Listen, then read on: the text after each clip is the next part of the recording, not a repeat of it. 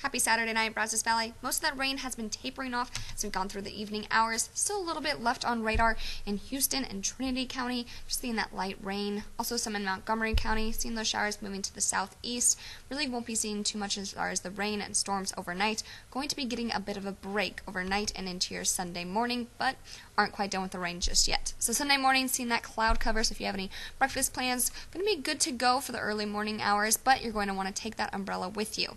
By around lunchtime, that's when we start to see some of those rain showers knocking on the door of the Brazos Valley, and they will continue into the afternoon and evening hours. So very similar conditions to what we had for today.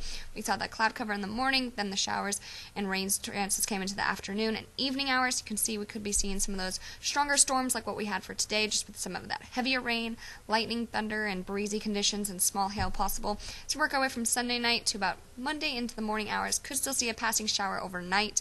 Monday morning doesn't look like it's going to be a washout by any means, but we could see some places having a bit of a wet commute. Cloud cover is not going anywhere for tomorrow and into starting next work week, and also those rain chances aren't going anywhere. Monday afternoon, we see that pattern come in again, where we have the rain and storm into the afternoon hours, sticking around throughout the evening. We get a little bit of a break Monday night before the next round comes on Tuesday. For tonight, low temperature 65 degrees for Bryan College Station, 62 in Crockett and Cameron, and 67 in Bellville.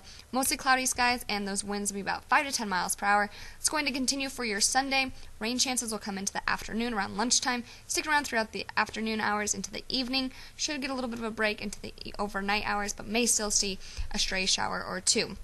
And so here's look at your seven day forecast. Those rain chances aren't going anywhere, as next week we have it in the forecast for every day.